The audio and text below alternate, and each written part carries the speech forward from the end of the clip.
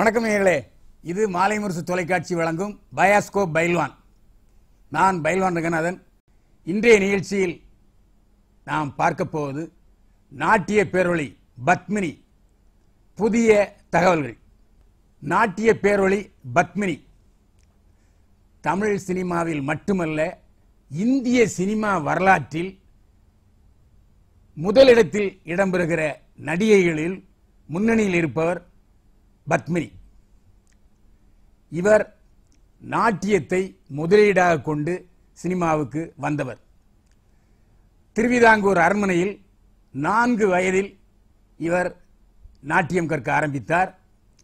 எட்டு வயதில் இவருடைய நாட்டிய அரங்கேற்றம் திருவிதாங்கூர் அரண்மனையிலேயே நடந்தது. இதை ஜோத்பூர் மகாராஜா பார்த்து மிகவும் மெய்சிலித்து போனார் பாராட்டினார்.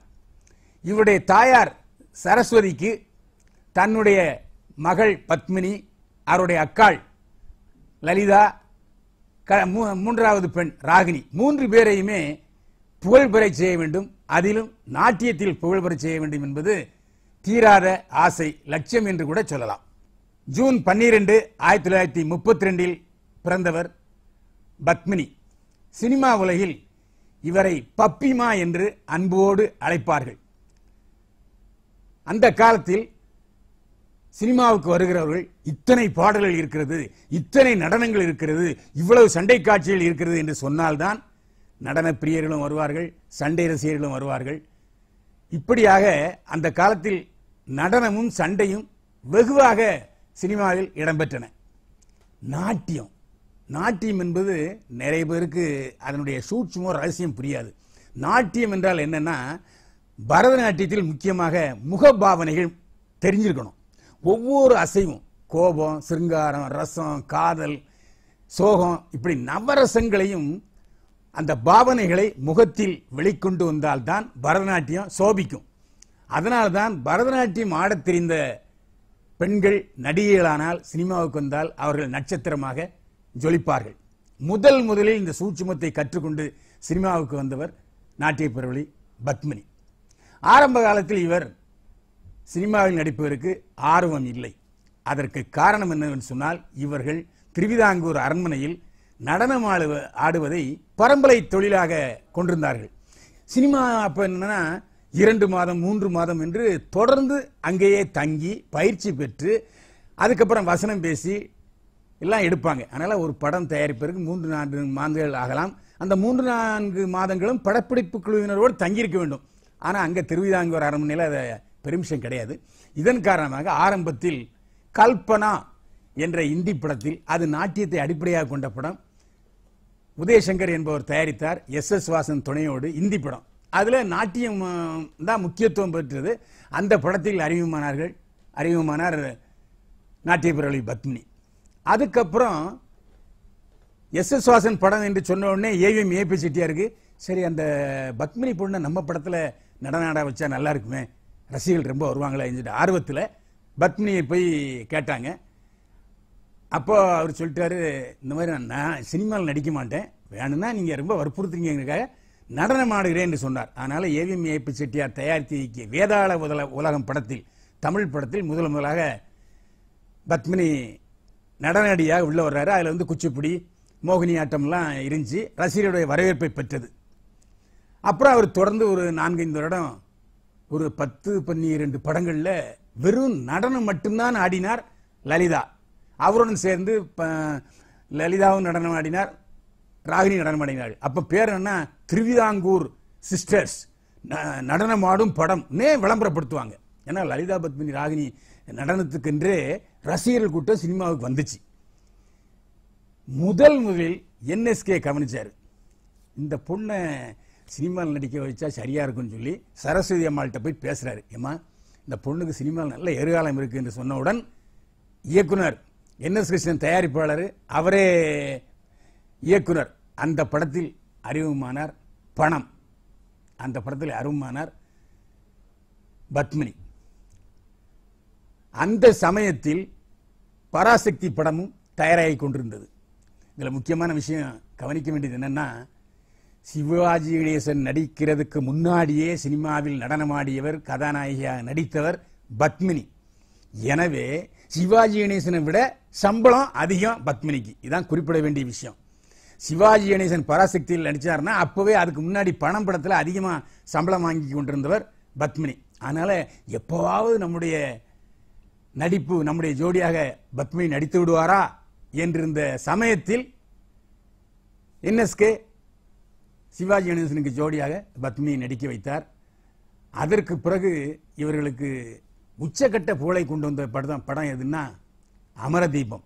அப்போ சாவித்திரியும் தெலுங்கில் புகழ் பெற்றிருக்கிறாரு. அவரும் கதாநாயகன் நடித்தார்.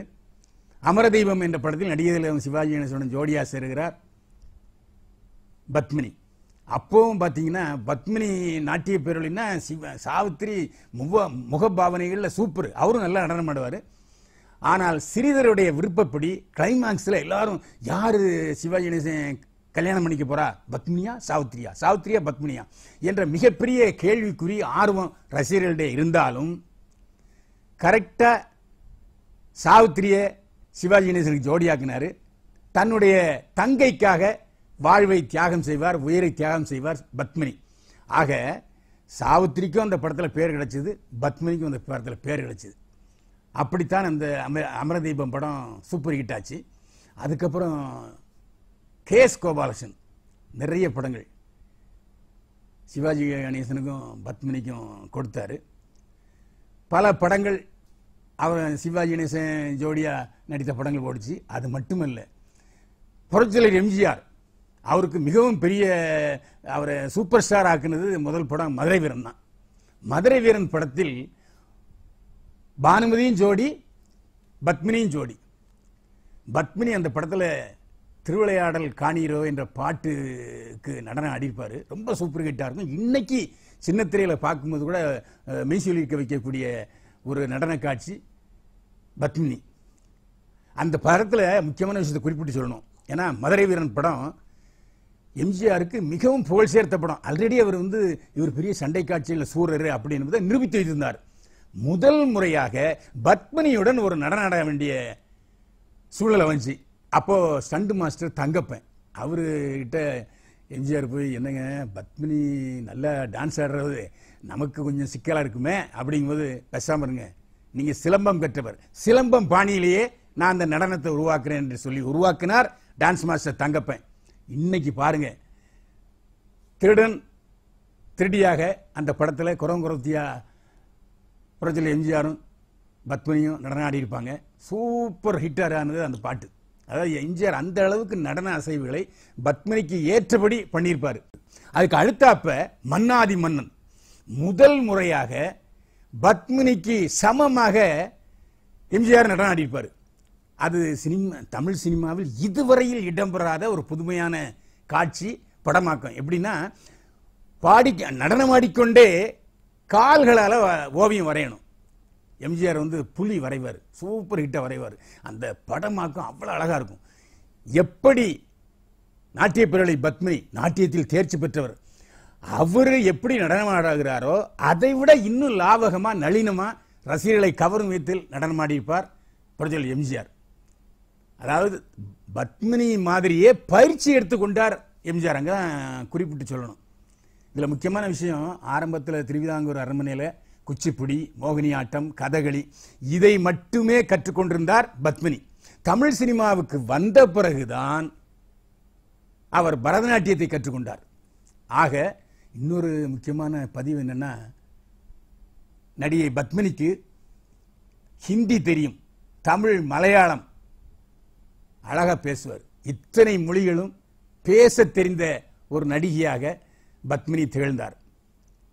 இன்னும் குறிப்பிட்டு சொல்ல வேண்டும் என்று சொன்னால் இந்தி படங்களிலே அங்க உள்ள சூப்பர் ஸ்டார் ராஜ் கபூருடன் அதிக படங்களில் வெற்றி படங்களில் வசூலை வாரி குவித்த படங்களில் நடித்தவர் பத்மினி.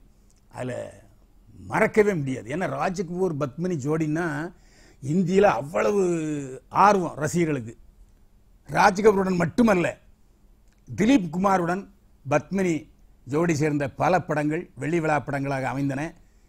சரித்திர சாதனையை வசூலில் ஏற்படுத்தியது என்பதையும் இங்கே குறிப்பிட வேண்டும். பல இந்தி நடிகர்களுடன் ஜோடி சேர்ந்து நடித்தவர் பத்மினி. தமிழ் மட்டுமல்ல இந்தியிலும் கொடிகட்டி பறந்தார் பத்மினி.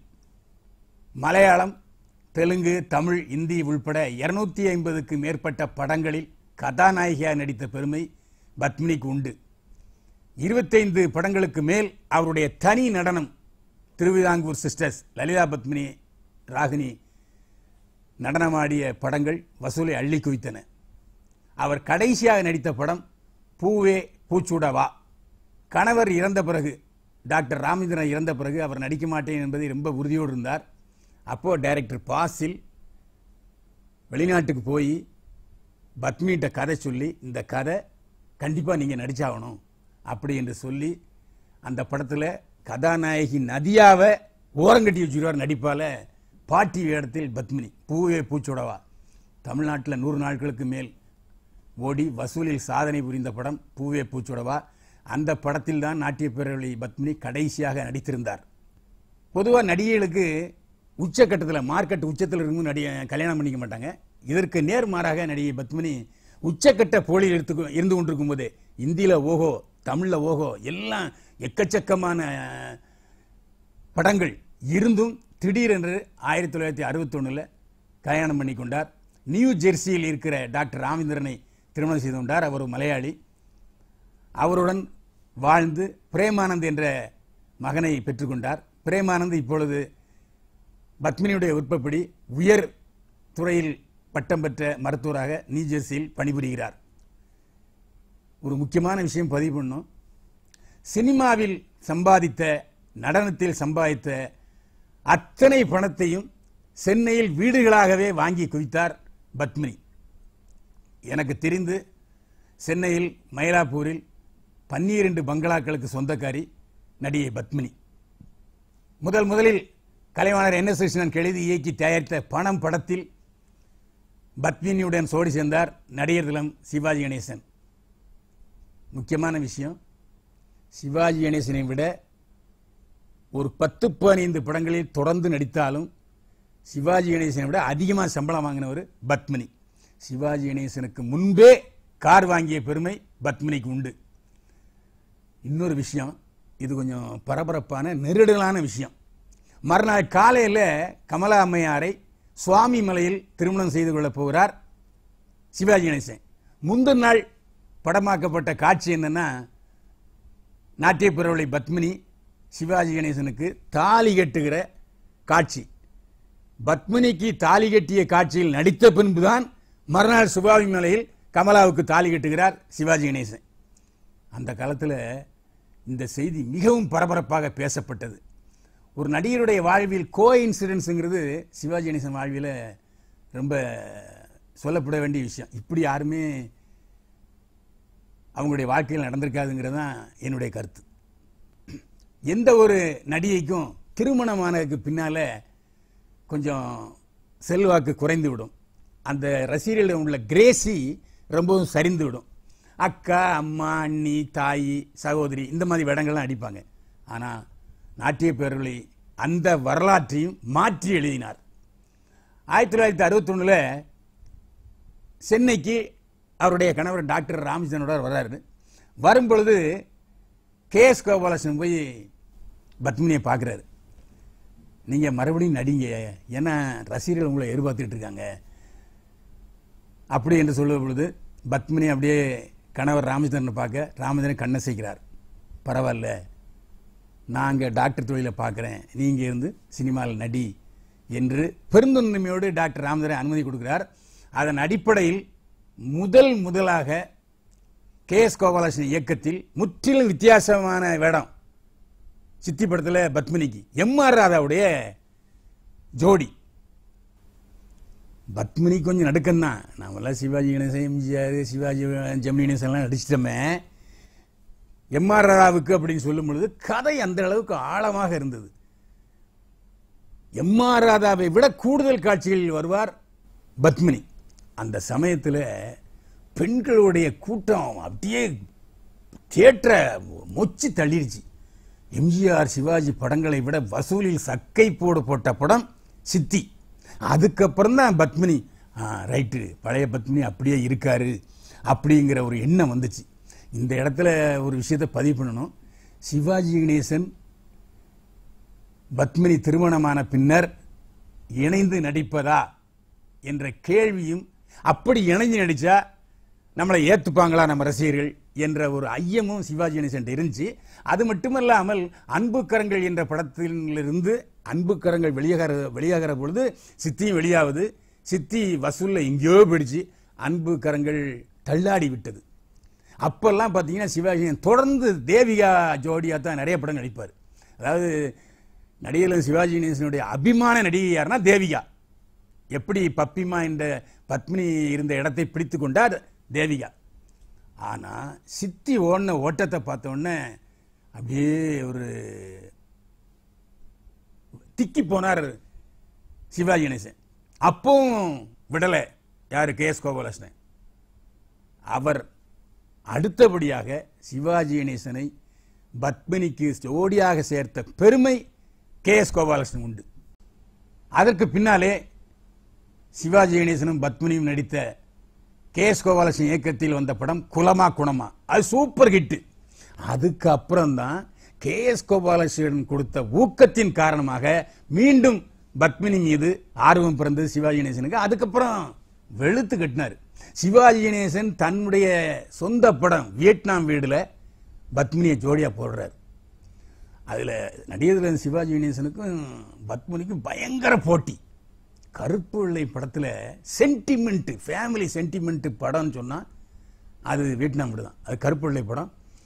அது பல தியேட்டர்களில் நூறு நாளை கடந்தது. சிவாஜி ஃபிலிம்ஸுக்கு பெரிய வெற்றி. அதுக்கப்புறம் நிறைய படங்களில் சிவாஜி கணேசனும் பத்மினியும் சேர்ந்து நடித்தார்கள். சிவாஜி கணேசனுடன் பத்மினி கடைசியாக ஜோடியா நடித்த படம் தாய்க்கு ஒரு தாலாட்டு அதற்கு பிறகு மீண்டும் அமெரிக்காவுக்கு போய்விட்டார். பத்மினி. அதற்கு பிறகுதான் பூவே புச்சுடா படத்தில் நடித்தார். பத்மினியை பற்றிய விசேஷ அம்சங்கள் என்று சொன்னால் இந்தியில தேவானந்து மனோஜ்குமார் உள்ளிட்ட எல்லா கதாநாயகர்களுடன் ஜோடி சேர்ந்து நடித்தவர் பத்மினி. அதை யாருமே மறக்க முடியாது. இன்னொரு முக்கியமான தகவலை சொல்லணும். நவம்பர் பதினாலாம் தேதி. யாருடைய பிறந்தநாள் நேரு மாமா. இந்தியாவுக்கு பெருமை சேர்த்த பிதாமகன் பிரதமர் நேருஜியுடைய பிறந்தநாள். நேருஜி பிறந்தநாளில் சென்னையில் இருக்க மாட்டார் பத்மினி. ஏன்னு சொன்னால் பத்மினியுடைய பரம ரசிகர் நேருஜி. அதனால் நேருஜி பிறந்தநாள் அன்று டெல்லியில் அவருடைய இல்லத்தில் நடனமாடுவதை வழக்கமாக கொண்டிருந்தார் பத்மினி. இது ஒரு பத்து பதினஞ்சு வருஷம் தொடர்ந்தது. ஏன்னா கல ரசிகர் நேரு.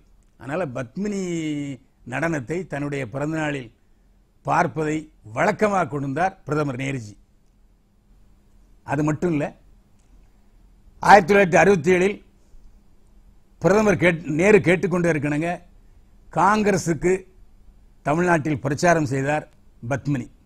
ஆனால் அந்த தேர்தலில் காங்கிரஸ் தோல்வியை தழுவியது திமுக வெற்றி பெற்றது. அது வேற விஷயம். பிரதமரின் வ- வற்புறுத்தலின் பேரில் நேருஜியின் வேண்டுகோளின் பேரில் காங்கிரஸ் பிரச்சாரம் செய்தார் பத்மினி. இதையும் இங்க குறிப்பிட வேண்டும். முதல்வர் கலைஞர் பத்மினி நடித்த பல படங்களுக்கு வசனம் எழுதியிருக்கிறார். இதன் காரணமாக அவருடைய கதை வசனத்தில் கண்ணகி படத்தை சிவாஜி கணேசனை கோவலனாகவும் பத்மினியை கண்ணகியாகவும் வைத்து படம் எடுக்க வேண்டும் என்று விரும்பினார். அவருடைய விருப்பம் நிறைவேறாமலேயே போனது. அதற்கப்புறம் ரெண்டாயிரத்தி ஆறில் கணவனுடைய மறைவுக்கு பின்னர் பத்மினிக்கு கொஞ்சம் உடல் சோர்வு ஏற்பட்டது. உடல் சோர்வு ஏற்பட்ட பிறகு அவருக்கு ஒரு எண்ணம் வந்துச்சுன்னா நம்ம சென்னையில் போய் செட்டில் ஆயிடலாம் என்கிற நினைப்போடு முன்கூட்டியே வந்தார். அதுக்கு என்ன காரணம்னா அப்போது முதலமைச்சர் கலைஞருக்கு ஒரு பாராட்டு நடந்தது. முதல்வர் கருணாநிதியின் விருப்பத்தின் பேரில் அவசர அவசரமாக புறப்பட்டு வந்தார் நடிகர் நாட்டிய பேரொழி பத்மினி. ஏன்னா அதற்கு பின்னால் தான் அவருடைய வீட்டில் உள்ள பொருள்கள்லாம் வர வேண்டிய சூழ்நிலையில் இருந்தது. அந்த விழாவிலே சக்கர நாற்காலியில் வந்து கலந்து கொண்டார் பத்மினி. கண்ணுக்குள்ள இன்னும் அந்த காட்சி இருக்குது. முதல்வர் கலைஞருடன் பக்கத்தில் உட்கார்ந்து ஒரு அஞ்சு நிமிஷம் பேசினார் பத்மினி. வெளியே சக்கர நாற்காலியில் வந்தார். அப்போவே அவர் கொஞ்சம் மூச்சு திணறல் மாதிரி ஏற்பட்டது. வீட்டுக்கு வந்து இறைவனடி சேர்ந்தார் பத்மினி. கடைசியா நடித்த படம் பூவே பூச்சுடவா. கடைசியாக கலந்து கொண்ட விழா முதல்வர் கலைஞருக்கு நடந்த பாராட்டு விழா சென்னையில். அப்படி எழுபத்தி நாலு வயது வாழ்க்கையை பரிபூரணமாக முடித்துக் கொண்டார் பத்மினி. 255 படங்களுக்கு மேல் நடித்தவர் பத்மினி. அவருடைய நடனம் இடம்பெறாத வெளிநாடுகளே இல்லை என்று சொல்கிற அளவுக்கு எல்லா நாடுகளுக்கும் போய் வந்தவர் பத்மினி.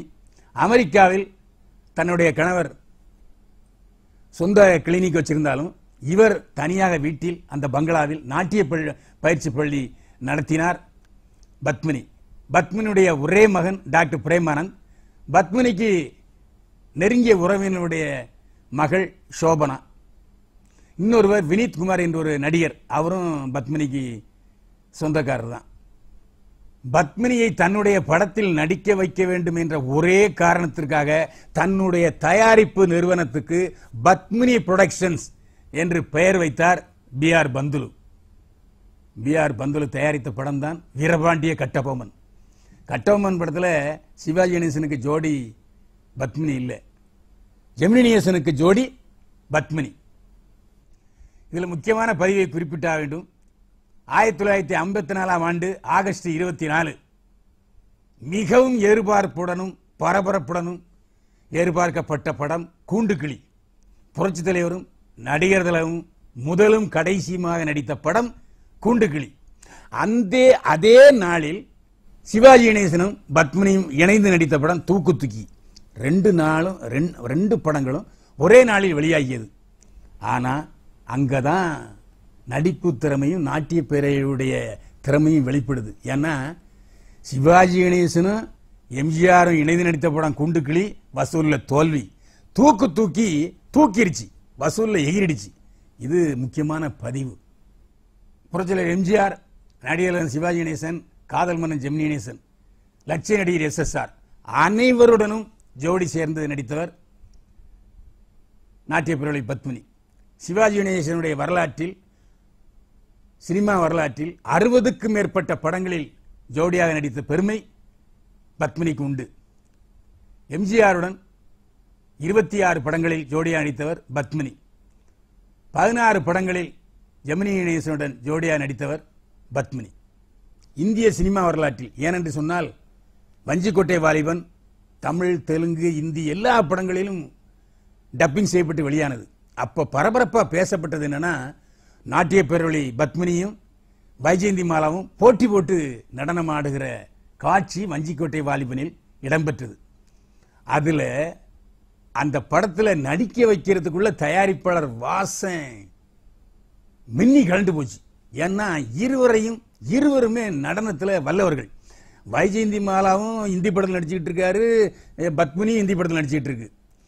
இந்த ரெண்டு பேருக்கும் நடக்கிற போட்டி நடனத்தில் ஜெயிப்பது யார்? என்பதுதான் காட்சி அமைப்பு. ரெண்டு பேருமே சோகம் காதல் வீரம் கோபம் எல்லாத்தையும் மல்லு கட்டிக்கிட்டு நடனம் ஆடியிருப்பாங்க. அப்போ ஒரு சமயத்தில் வைஜெயந்தி மாலாவுடைய கை பத்மினி மேலே பட்டுருச்சு. அந்த மாதிரி மன்னிச்சிங்கன்னு சொல்லியிருக்காங்க. ஆனால் வைஜெயந்தி மாலாவுக்கே உள்ள கெத்தில் ஒரு வார்த்தை சொல்லியிருக்காங்க.